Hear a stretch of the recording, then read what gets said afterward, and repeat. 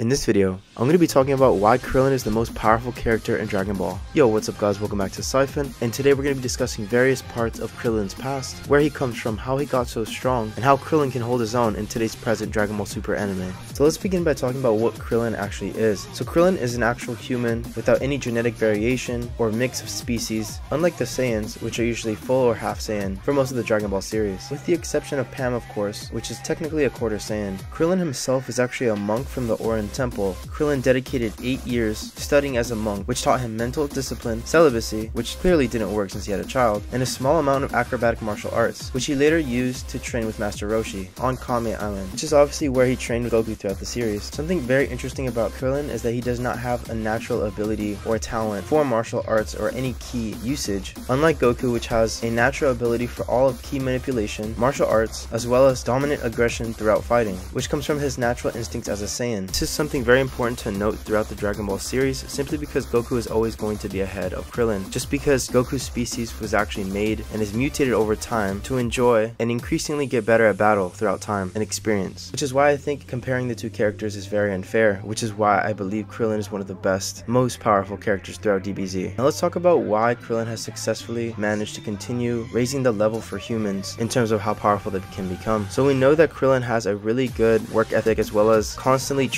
with people more powerful than him and has never given up regardless of the power difference between everyone else and him. That's something I find very crazy considering the Saiyans always find some new power level including Super Saiyan, Kaioken, any of these new abilities and transformations that he can't personally master. Yet regardless of that, Krillin seems to always continue and push himself even harder, which we can see pays off throughout the series, considering he can hold his own in the Tournament of Power. Not only that, but let's take into consideration that he actually quit being a fighter for a while when he had a child, so he ended up becoming a police officer, which stunted his growth for some time, and regardless of that, he was able to hold his own in the Tournament of Power, as well as even fought off Goku during Super Saiyan 2 transformation. I'm also pretty sure that this work ethic, as well as his ability to continue motivating himself consistently, comes from the teachings that the monks gave him throughout his time at the Orin Temple. Aside from all the great things of Krillin, I did want to bring up one issue that I do see throughout all the Dragon Ball series, which is that Krillin tends to die multiple times for some odd reason. Now I find this obviously annoying, since he does tend to wait for Goku or someone more powerful to step in during the battle. Yet regardless of this, when he does get brought back to life, he's ready to fight and continue the battle. Which definitely takes a lot of determination considering you just died and it's pretty traumatic to go through something like that multiple times.